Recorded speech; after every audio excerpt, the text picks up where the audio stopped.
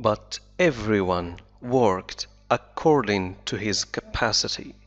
The hens and ducks, for instance, saved five bushels of corn at the harvest by gathering up the stray grains. لكن الجميع عمل طبقا لقدرته but everyone worked according to his capacity capacity هنا تعني القدرة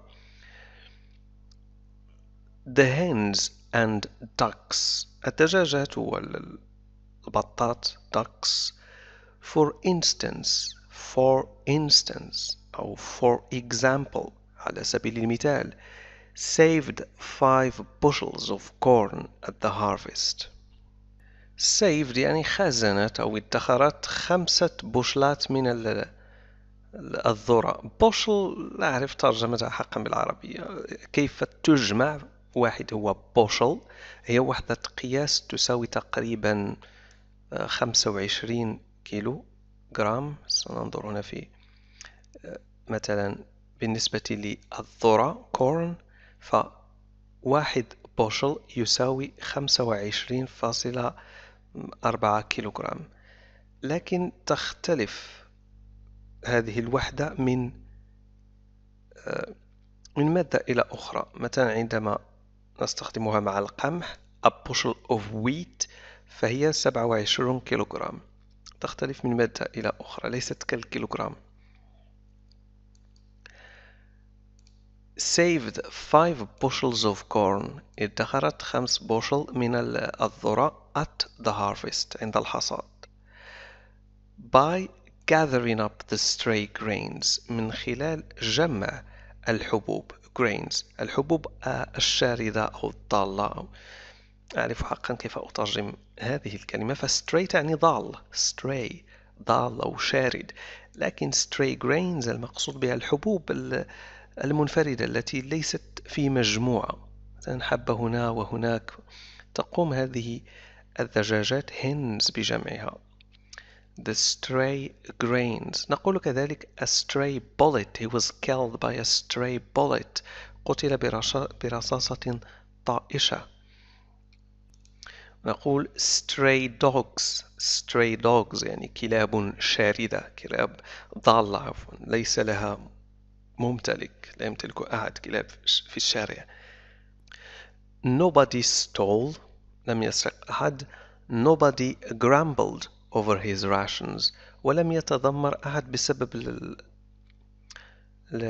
حصص الطعام rations nobody grumbled over his rations the quarreling and the biting and jealousy which had been normal features of life in the old days had almost disappeared الجدال the quarreling and the biting والإزعاج biting and jealousy وال الغيرة والحسد jealousy حسد وغيره which had been normal features والتي كانت أمورا عادية normal features أمور عادية of life للحياة في الأيام القديمة الماضية اختفت الآن يعني هذه الأشياء اختفت الآن which had been normal features of life in the old days had almost disappeared هذه الكلمة التي ترجمتها بإزعاج biting تعني العض يعض to bite. لكن في هذا السياق المقصود به هو الإزعاج. فكما سنرى هنا في قاموس bite تعني يعض to bite of a person or animal use the teeth to cut into something. She was biting a slice of bread. لكن تستخدم بمعنى annoy or worry مثلا what's biting you today ما الذي يزعجك اليوم what's biting you today أما كلمة features فتعني ملامح أو مميزات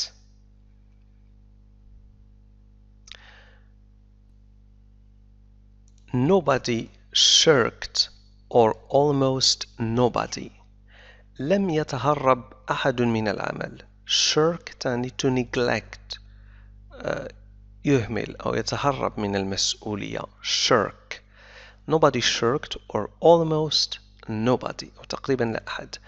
Molly it was true was not good at getting up in the mornings. مولي لم تكن جيدة في الاستيقاظ في الصباح يعني لم تكن تستيقظ في الصباح. Was not good at getting up in the mornings and had a way of leaving work early on the ground that there was a stone in her hoof. وكانت لديها عادة في ترك العمل. كانت عادة ما تترك العمل بدعوى أو بذريعة أن هناك حجر في حافرها. هوف هوف هو الحافر حافر الحصان. سنرى هنا الصورة لهوف هذا هو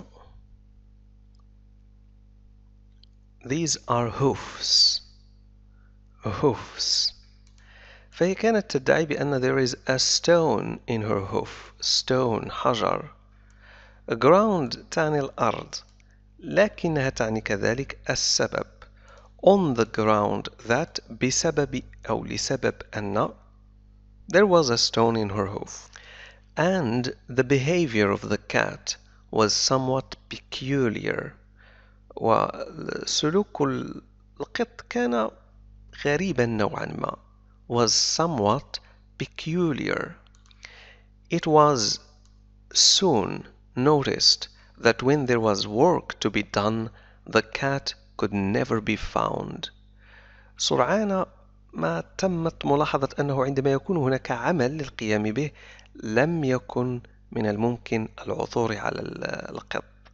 كان القط يختفي. It was soon noticed. Soon يعني سرعان أو بعد وقت قصير. Soon noticed لوحظ. When there was work عندما كان هناك عمل to be done ليتم القيام به the cat could never be found. The cat could never be found. لم يكن من الممكن العثور على القط. She would vanish for hours on end. هنا on end تعني متواصل. كانت تختفي لساعات متواصلة. Vanish vanish يختفي.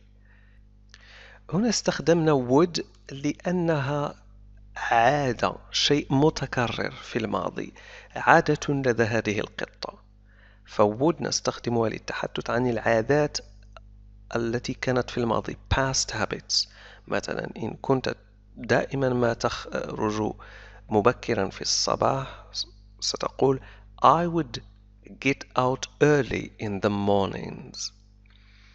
She would vanish for hours on end and then reappear at meal times وعند ذلك تظهر في أوقات الأكل أو في أوقات الوجبات meal وجبة times أوقات reappear appear يظهر reappear يعيد الظهور and then reappear at meal times or in the evening after work was over أو في المساء عندما ينتهي العمل Over انتهى was over يعني كان قد انتهى as though nothing had happened كأنما لم يحدث شيء as though nothing had happened but she always made such excellent excuses لكنها دائما ما كانت تقدم أعذارا رائعة أو جيدة excellent excuses excuses أعذار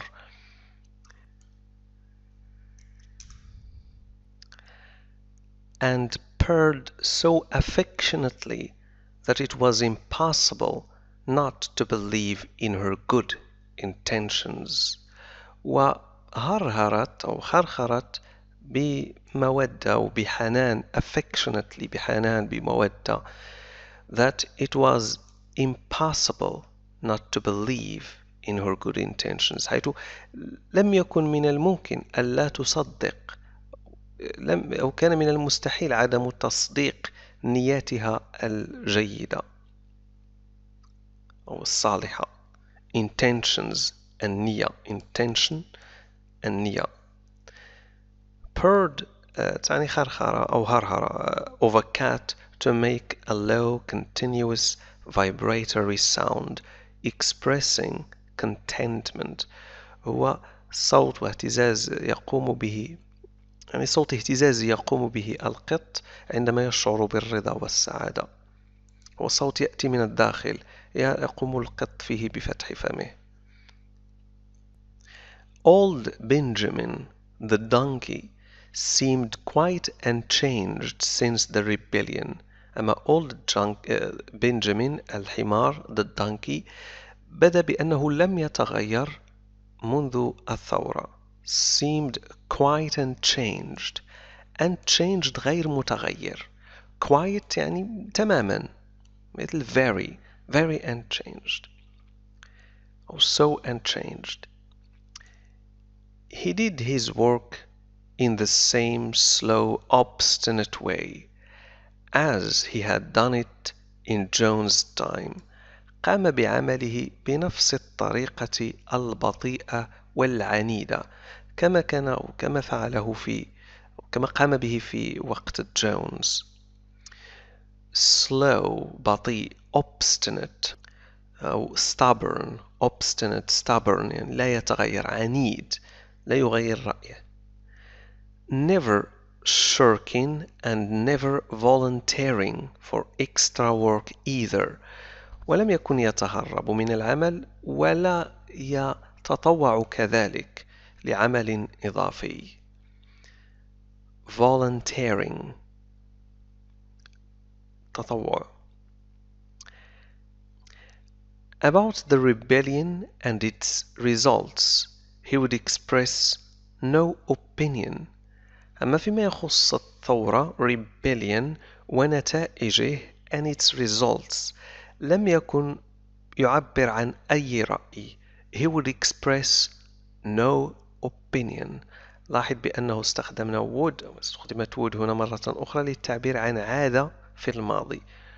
شيء يقوم به uh, the donkey بشكل دائم يعني لم يكن يعبر عن رأيه دائما.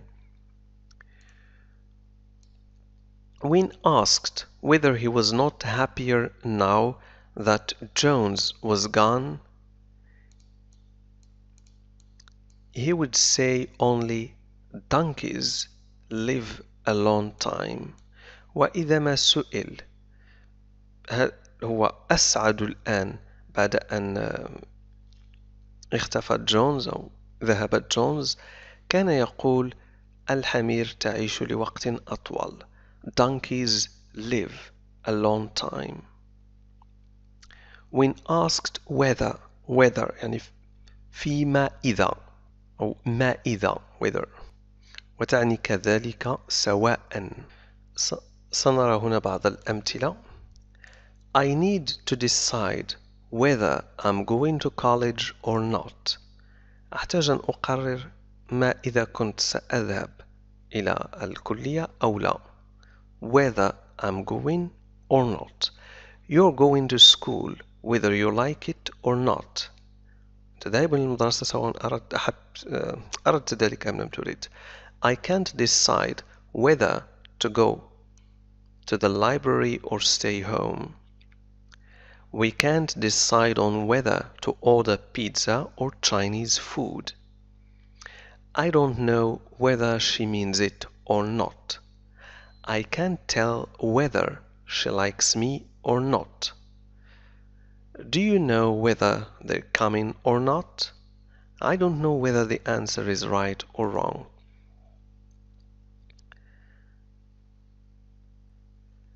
هنا يتابع الحمار كلامه None of you has ever seen a dead donkey. لا أحد منكم سبق له أن رأى حمارا ميتا And the others had to be content with this cryptic answer.